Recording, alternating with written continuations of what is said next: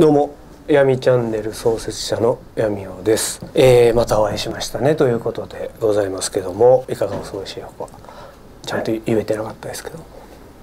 いかがお過ごしでしょう？あのね。え？ん？え？あのうん調子悪いな。いかがお過ごしでしょうか？なんて思ってますよ。ごきげんよ。う早速今日もねスーパーチャットいただいてませんが皆さんからのお悩み相談といいますか質問に答えていきたいななんて思っておりますよ。ちょっとあの前回1本2本かな YouTube 上がってると思うんですけどもあまりにもしっとり喋りすぎてね自分で見てみてちょっとたるいななんて。うんこれ改善の余地あるななんつってね、えー急いでディレクターに連絡しましたけど「ごめんね」言って。つかみきれてないんですけどね。まあちょっと探り探りなんでねこれは。まあどうせそんな 視聴回数も回ってないんで。大幅なキャラ変更も見込みながらうんそう成長過程もともに楽しんでください。えー早速参りましょう。本日の最初の質問がこの方。あ同棲している彼氏と部屋の設定温度が合いません。私は冷え性なのとクーラーの風が苦手なので28度ぐらいがいいのですが彼は24度ぐらいにしてくれと。言ってきます。一体どうしたらいいですか？なるほど。結構あるあるなんじゃないですか？私闇尾も以前同棲みたいなことしたことあるんですけど。闇尾さんあるんですか？あるのよ。何を血迷ったか。同棲してんのに元住んでた自分の家の契約は切らないっていうなんか家賃は払い続けるみたいな変な同棲をね。基地は置いときたいみたいな。踏ん切りつかんかったやろなやっぱ。まあそういうこともあるわな。これどうですか？女性ってやっぱほんまに冷え性やったりさクーラーの風が苦手やとか当たりたくないとかっていう人って多くないですか？これほんまによく言われることで男性と女性温度の感じ方違うのかね？女性はほらやっぱ体冷やしてあかんとか言われてるように。そうなのかなとは思うんやけどこれ言わしてもらっていいですか？もうはっきり。寒がりな方が暑がりな方に合わせろよ。思いません？暑がりなやつは裸以上に脱げないんだから。でも寒がりの人は着込めばいいんだから。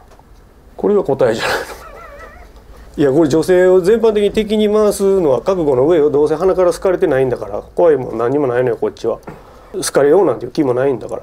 夏なんだから半袖着せてよ。辛いもんが苦手な人と好きな人がいるようにめちゃくちゃ辛いものを最初から作られたらさ薄まらんやん。だから最初は普通のちょピリ辛ぐらいに作ってあなた辛いのお好きなんだったら継ぎ足し辛いのしなはれやっていう考え方と一緒だよね。え？違うか。違う時ははっきり違うって言ってくれないと俺も成長しないから。合ってるよねお互い様の精神を持てればいいんじゃないかな。基本的に私はその人と同じ部屋みたいなところに長らく入れないたちなんで夫婦とかになってくるとまた違うんやろうし寝室とかになるとまた違うんでしょ？多分。寝る時の温度戦争みたいな。あるんでしょうが。風当たりたくないという人多いよねでも女の人ね。なのにさなんかどっか出かけてさちょっと自然豊かなとこなんて行ったらさ「あー風が気持ちいい」とか 平気で言うねん「お前風嫌いやったんちゃうんか」っていう。シチュエーションによるのかな？自分に寄ってんのかな？あれ。部屋の中では風嫌いって言った方がいいって思ってんのかな？知らんけど。風の立場になったらたまったもんやないで。さあ続いてのお悩みというか質問でございます。えー、闇尾さんはホリエモンについてどう思われますか？もともとはライブドアの方ですよね。何かと話題というか。論客という意味では今ひろゆきさんと二大巨頭というかでまあひろゆきさんの方がすごく支持があるみたいな状態でしょ？はっきり申しますとホリエモンさんとは全く何の面識もございませんしお会いしたことも見かけたこともございません。でホリエモンさんなんて私みたいなものの存在すら知らないでしょうし知られてたらちょっと嫌やなと思うぐらいの感じはあるすごい方だなとは思われ思ってますよ。でまあこれから先もね私とホリエモンさんの人生が交わることはおそらくないでしょうから当然ですけども頭のいい方なんでしょうしもちろん私なんかよりね知名度もお金も地位も学歴も発信力影響力みたいなもん SNS とかねそういうもんでもまあ炎上もありますけども話題になられる方だと思いますけどもね。だからどう思われますか？なんてはっきりこう答えるとしたらまああの言いにくいことなんで早口で言いますけどもあの限りなく嫌いに近い苦手ということになりますかね。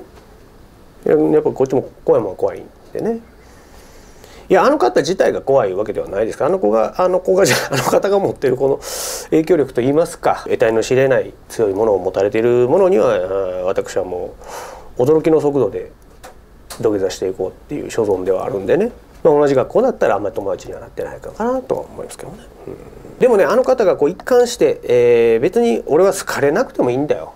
別に君たちに支持されなくてもいいんだよ。みたいな覚悟みたいなものが見れるじゃないですか。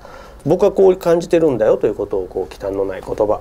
よく言えば発信されてるというその覚悟はいいのかなとは思うんです。ホリエモンさんに僕は何か苦言を呈するわけではないんですけども、まあ、早口で言うとすればわざわざ刻りに行く必要があるのかななんて思いますから本当に頭の言い方はちゃんと言葉選んで喋るんちゃうかななんて思ってます。うん。でもすごく頭のいい方やと思いますけども本当に頭のいい方っていうのは本当にそのこと人がどう思うのかっていうのをパッパパッと考えられてその言葉選びもちゃんと頭よく選ぶんじゃないかななんて僕は思ってますよ。うん。とりあえず謝っておきましょうか。ごめんなさいごめんなさい。